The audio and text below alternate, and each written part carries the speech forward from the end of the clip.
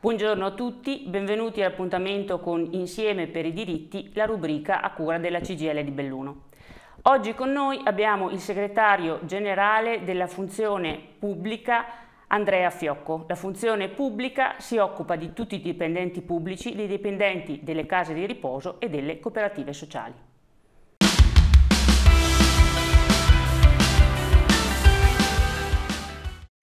Qual è la situazione generale della sanità in Italia? Diciamo che innanzitutto quando parliamo di sanità intendiamo sanità pubblica. La sanità pubblica italiana parte da un'idea bellissima che è nata nel 1978 con la creazione del sistema sanitario nazionale che ragionava sul fatto che la sanità deve essere per tutti indipendentemente dal censo. Però la sanità italiana è caratterizzata da alcuni eventi che eh, sono avvenuti negli ultimi 15 anni. Innanzitutto verso la fine degli anni 2000 il governo Berlusconi, ma poi anche altri governi, hanno pensato che si potesse tagliare per fare cassa sulla sanità pubblica, sull'amministrazione pubblica in generale, ma molto sulla sanità e questo ha determinato una riduzione degli organici, organici molto importante.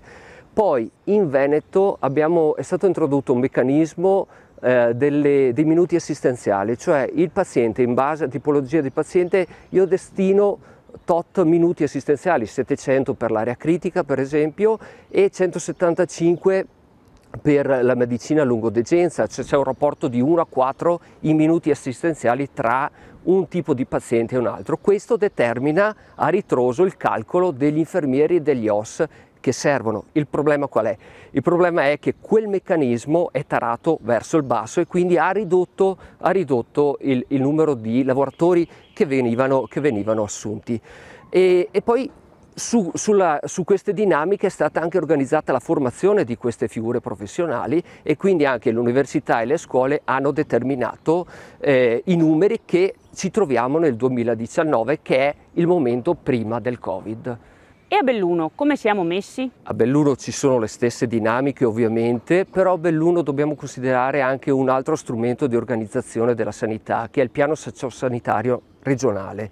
La regione negli ultimi tre piani sociosanitari ha detto io vi tolgo parte eh, dell'offerta eh, come ospedale, quindi riduciamo eh, gli ospedali come posti letto, però vi do il territorio. A Belluno cosa è successo? È stato tolto in termini di posti letto, ma non è stato dato quello che doveva essere dato in termini di territorio e questo ha penalizzato soprattutto le terre alte, perché chi è nelle valli, vicino a Belluno, vicino a Feltre, comunque ha di riferimento l'ospedale, ma l'Agordino, il Cadore, il Comelico, eh, la Valboite hanno patito molto queste scelte qua perché si sono trovati con quasi nulla e gli ospedali di Agordo e Pieve sono stati destrutturati in maniera molto significativa in questi anni e non parliamo di quello che è accaduto al Codivilla Putti e di quello che è accaduto all'ospedale di Auronzo. Durante la pandemia il servizio sanitario pubblico è stato fondamentale. Cosa ci ha lasciato in eredità il Covid? Il Covid ha lasciato una consapevolezza che i numeri che dicevamo prima, quelli calcolati in quella maniera, non erano sufficienti. Quel calcolo era sbagliato e serviva molto più personale. Noi credevamo che il Covid avesse insegnato quello e invece non ha insegnato perché dopo il Covid si è ritornati alle dinamiche di prima. Vorrei precisare che eh, quello se ce l'abbiamo fatta, anche se con grossa fatica, non ce l'abbiamo fatta per gli aspetti organizzativi, per come era organizzato il lavoro, ma ce l'abbiamo fatta per capac le capacità, la professionalità e lo spirito di abnegazione dei lavoratori che si sono, si sono dannati l'anima per riuscire a dare servizio, per riuscire a fare quello che hanno fatto. L'altra dinamica è che dopo il Covid molte persone hanno rivisto complessivamente la loro vita e c'è qualcuno che ha anche cominciato a dire beh io potrei anche non lavorare più in sanità, potrei anche andare in casa di riposo perché ci sono dinamiche diverse, potrei andare via, andare all'estero e abbiamo avuto fenomeni migratori che prima non avevamo.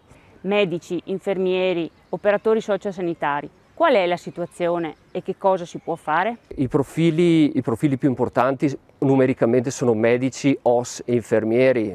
Gli infermieri su un'azienda come la nostra è di più di 3.000 eh, dipendenti sono 1400, gli OS sono 550, però ci sono moltissimi altri profili professionali, i tecnici sanitari, tecnici di radiologia, tecnici di laboratorio, che viaggiano però su numeri che stanno intorno ai 60-70 per profilo.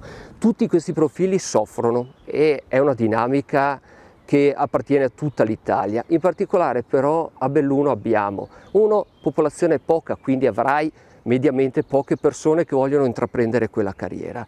Due, hai l'offerta offerta in altri campi, cito Luxottica, ma lavoro a Belluno ce n'è, quindi evidentemente i ragazzi difficilmente pensano di fare quel lavoro. Spesso, tre, spesso Belluno è una zona di passaggio, cioè arrivano persone dalla, dal, da altri territori, soprattutto dal sud Italia, e dopo legittimamente provano a ritornare provano a ritornare a casa e poi abbiamo il problema anche della casa come abitazione perché abitare a Belluno è difficile ed è anche difficile trovare, trovare casa.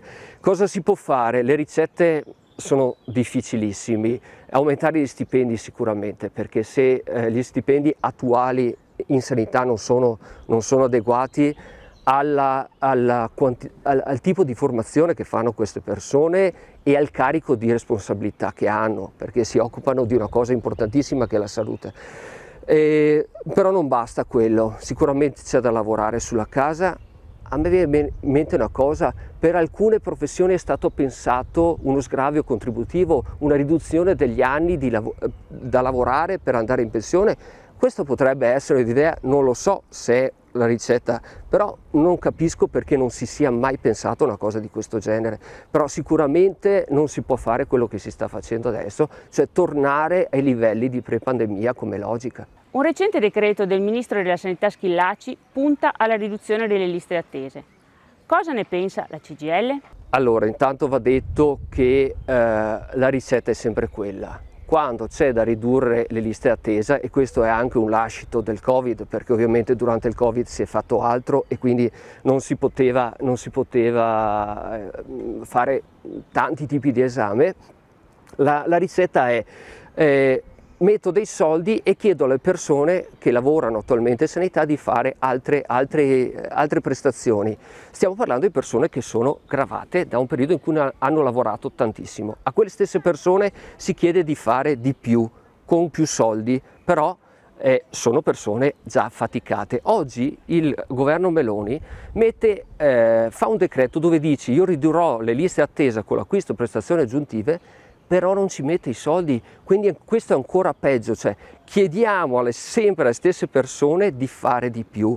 C'è un'altra cosa che non viene detta in questo decreto, che quel decreto riduce in parte i fondi del personale e questo è una cosa gravissima che va denunciata.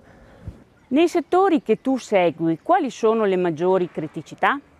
Beh, diciamo che in tutti i settori, ministeri, enti locali, cooperative sociali, case di riposo, sicuramente la carenza di organico, ma l'abbiamo già detto anche per la sanità, è il tema, è il tema principale, la difficoltà a reperire personale. Nei ministeri eh, in, in alcuni enti abbiamo meno di metà del personale storico.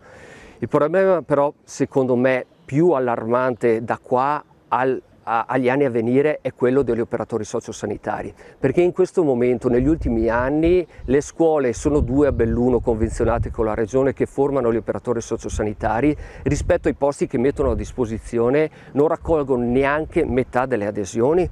Vuol dire che nel giro di pochi anni gli operatori sociosanitari che oggi sono vicini a pensione andranno in pensione e non avremo personale per sostituirli. Questo determina un grandissimo problema nell'organizzazione della sanità. Ma proviamo a pensare a quello che potrebbe succedere nelle case di riposo che, che affidano la loro assistenza soprattutto all'operatore sociosanitario.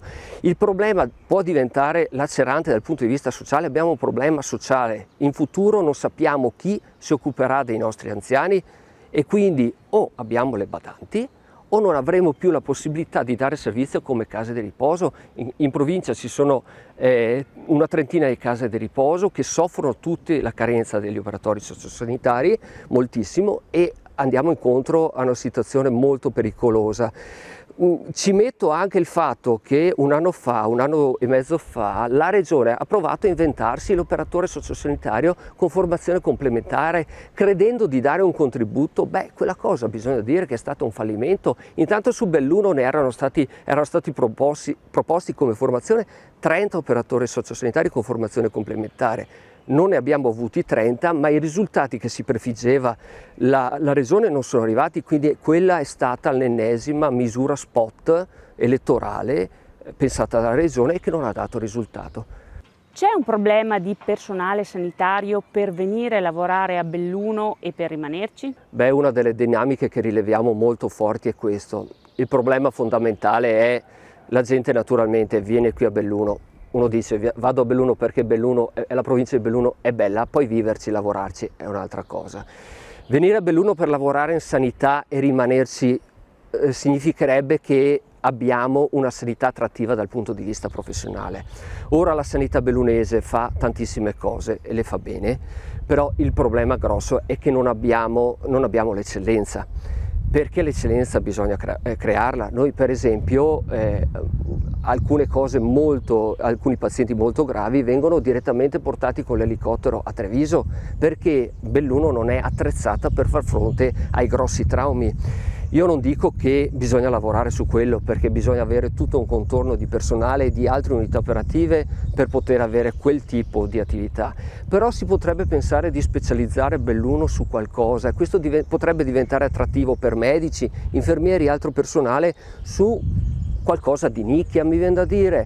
Pensiamo a quello che è stato il Codivilla, per esempio, fino al 2017, che aveva lo, la cura dell'osteomelite e nel 2017 avevamo due dottoresse, una calabrese e l'altra credo siciliana, che si erano stabilite qui per imparare quella professione perché al, al Codivilla si faceva la cura di quella malattia. Ora, non dico che quella è la ricetta, però un pensiero per rendere attrattivo anche dal punto di vista professionale e non solo per le opportunità economiche che, da, che potrebbe dare, eh, la sanità, forse un'idea potrebbe, potrebbe essere questa. Grazie a tutti per essere stati con noi, vi ricordiamo che il prossimo appuntamento con Insieme per i diritti sarà il 10 di luglio.